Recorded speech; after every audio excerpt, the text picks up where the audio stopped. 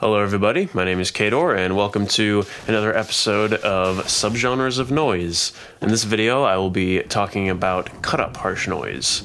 Uh, this subgenre is characterized by frantic and spastic blasts of harsh chaos, constantly varying in timbre. Uh, often elements of glitch music are incorporated, resulting in rapid clicks and volume cutouts, and it can be meticulously composed with tons of post production edits, or it can be done entirely live by rapidly clicking pedals on and off and using loopers. Whatever the approach, cut up harsh noise is one of the most technically proficient and complex forms of harsh noise out there, and the busy, fast paced insanity never fails to scratch a certain itch for me. So, with that out of the way, let's get into what I consider to be some of the most essential albums in this style. First, we have a various artists compilation called Hard Panning, the ultimate contemporary cut up harsh noise international compilation. Yeah, the title says it all. This is the definitive cut up harsh noise album, and a must listen for anyone interested in this style. Uh, it features pretty much all the greatest cut up artists you could think of, and they all deliver some of their best material. Expect complex, rapid fire blasts and glitches interspersed with expertly crafted atmospheric interludes and some of the most attention to detail you'll ever hear in a noise album. Kazuma Kubota, Utsuroi. Kazuma Kubota fuses together beautiful ambient drones with harsh cut up noise blasting over top. And this short release, in my opinion, is the best example you can find of this unique genre combo. The ambient backdrop to these tracks are so stunning and evocative, but before long the noise starts creeping in. Sometimes more subtle stuttering, fluttering textures, and other times heavy, harsh blasts that completely overtake the ambience before cutting out as quickly as they came in, allowing the gorgeous drone to emerge again. The interplay between these polar opposite moods creates such an engaging, emotionally intense experience. And uh, pretty cool packaging as well, with uh, this kind of hand painted box, and then you get ooh, some inserts and the tape inside. Pretty awesome. Tourette.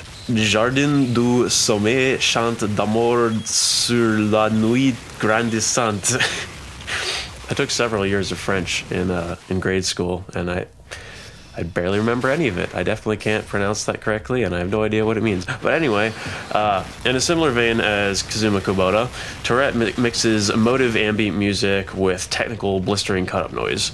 Rather than the Kubota approach of layering a consistent drone underneath the noise, this album has a more progressive feel, transitioning thoughtfully between sections of varying dynamics and sounds. It's clear that tons of time and effort went into this release, and it truly is a beautiful and expertly balanced dance between soothing loops and harsh chaos. John Wiese, Soft Punk. This is one of the most sonically detailed, intricate, complicated noise albums I've ever heard. John Wiese samples rock instrumentation and glitches it out to oblivion, chopping sounds into microseconds long clips and throwing them chaotically around the stereo spectrum. It is very clearly digital noise, far removed from much of the brickwall improvised harsh noise that I discussed in the previous video. And while a lot of harsh noise made on laptops tends to sound too sterile and bland for my tastes, this is an example of someone using software to its fullest extent to make a technically impressive masterwork that is honestly just ear candy on headphones. Sickness. I've become the disease that made me one of the best examples of pure cut up harsh noise. Uh, not much else to say about this one that I didn't already mention when describing the genre, but this thing is loud, intense, hyperactive, and thrilling, and Sickness is one of the most consistently quality artists in this style. Kazumoto Endo, While You Are Out. Inarguably the most well known cut up noise album, as well as one of the earliest examples of the subgenre. The way Endo samples Japanese pop music, turning it into fun rhythmic loops and clinically injecting it between jagged blasts of noise, is brilliant and totally unique to this album, as far as I know. The noise itself, while chaotic and complex, includes plenty of silent gaps that help prevent listening fatigue and keep the sound feeling active and unpredictable. Each burst of noise sounds different from the last, while each track is tied together by variations on a single sound that reoccurs throughout it.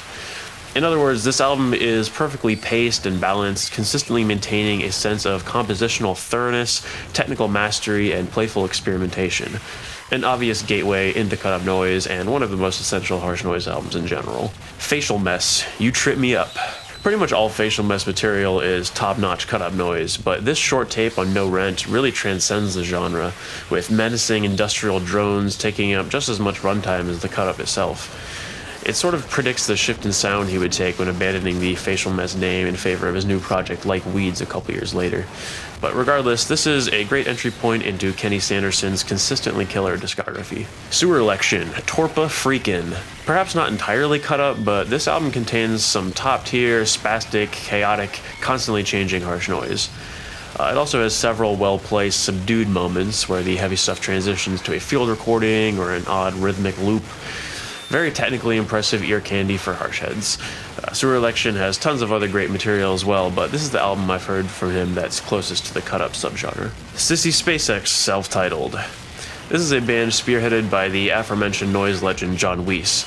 Uh, their albums take on many different styles, ranging from pure harsh noise to grindcore to weird free improv to glitch out spastic chaos using noisecore as source material, which is what this short but amazing release is.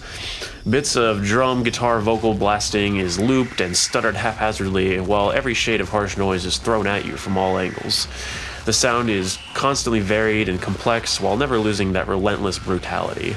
A very unusual and effective approach to cut up noise. TEF, Consequences and Conversation.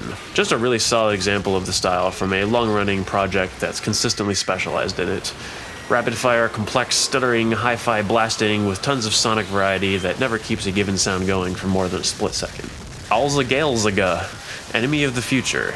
This is a great compilation from another cut up harsh noise heavyweight. But some of the material on here is more traditional harsh noise style, but most of it is overwhelming, spazzed out, cut up chaos. Nothing too unique, I suppose, but it really scratches the itch for this kind of thing, and the analog tape saturated production keeps everything feeling satisfyingly organic and raw. A fail association. Once, especially once. This short release switches between rapid fire harsh blasting and slower churning looping bits. Similarly to Alzagelziga, this has plenty of sonic variety while maintaining the same satisfying analog fidelity throughout. Breakdancing Ronald Reagan, Neuroscience is Dumb. Breakdancing Ronald Reagan is a legendary harsh noise project, infamous for his over the top performances and the comedic elements of meme culture integrated into his work. Uh, this tape, however, is a relatively serious and focused exercise in excellent cut-up noise, displaying all the technical proficiency and disorienting insanity you'd expect from this subgenre. Boar, Union Park. Boar is one of the greatest cut-up harsh noise artists active today, and he doesn't get nearly enough credit for it. This tape is loaded with delicious textures, spastic switch-ups, and occasional quieter, atmospheric bits to add in some dynamics. And the final album that I want to throw your way today is Tattered Syntax Alone Gone. Tattered Syntax was a short lived cut up harsh noise project by William Hutson, better known as a member of the experimental rap group Clipping. In his interview on the White Centipede Noise podcast, he mentioned that this album, with the exception of the 14 minute live track, is meticulously composed in post production, and the rapid cut up effect is created by splicing different recordings together. This is a prime example of heavily edited cut up noise, as the sounds on here are precise, vicious, abrasive, heavy, varied, and texturally stimulating all at once. Truly one of the most overlooked releases in this style. And yeah, that is all of the cut up harsh noise that I wanted to recommend today, and hopefully, uh, people who are unfamiliar with the genre now have a pretty good understanding of what it is.